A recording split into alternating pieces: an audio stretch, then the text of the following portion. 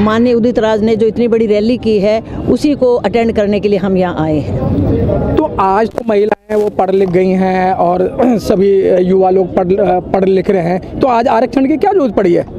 महिलाएँ शिक्षित हैं, महिलाएँ पुरुषों से किसी भी क्षेत्र में कम नहीं हैं बट उनको वो मान और सम्मान नहीं मिल रहा जो उनको मिलना चाहिए। शिक्षा के अंदर कोई कमी नहीं है और उनके अंदर गुणों की भी कोई कमी नहीं है, लेकिन आज सर्विस के मामले में मैं हरियाणा की अगर बात करूँ तो हरियाणा में आज से 89 के अंदर चार लाख पोस्ट थी, लेकिन आज जो है वो ढाई लाख पोस्ट रह गई डेढ़ लाख पोस्टों को उड़ा दिया गया है। सरकारी जो सेक्टर है, उसको ख़त्म किया जा रहा है, निजी सेक्टर आ रहा है। और निजी सेक्टर के अंदर आरक्षण नहीं है। महिलाएँ कहाँ एडजस्ट होंगी? पहले महिलाओं का कोटा अलग होता था।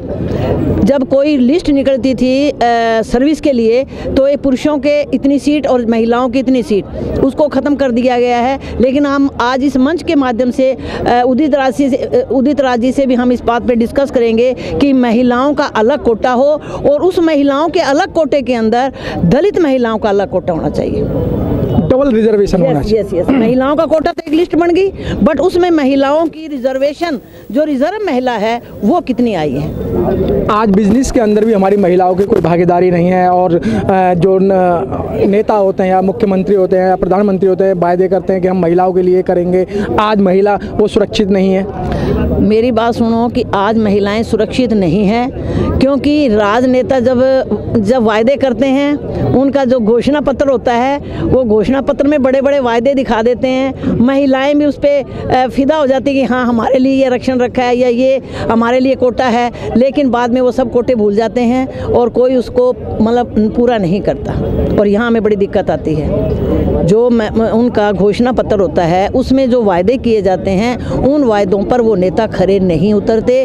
केवल मात्र वोट लेकर और विधानसभा या लोकसभा में जाने तक ही वो सीमित होते हैं। उसके बाद मुद्दे बहुत कम उठाते हैं। मैं माननीय उदित राज जी का बहुत बहुत धन्यवाद करती हूँ। इन्होंने 97 के अंदर जो पाँच विधायक जो हमारे आरक्षण के खिलाफ थे, उनके खिलाफ जंग लड़ी, उस समय ये कुछ भी नहीं थे।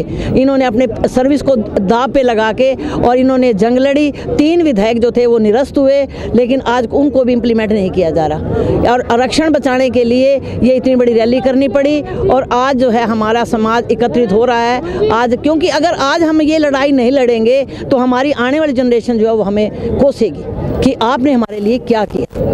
तो आप महिलाओं के लिए क्या अपील करेंगे? मैं महिलाओं के ये लिए यही अपील करूँगी कि आरक्षण महिलाओं का अलग से हो और उस अलग महिलाओं के आरक्षण के अंदर दलित महिलाओं का आरक्षण अलग से होना चाहिए।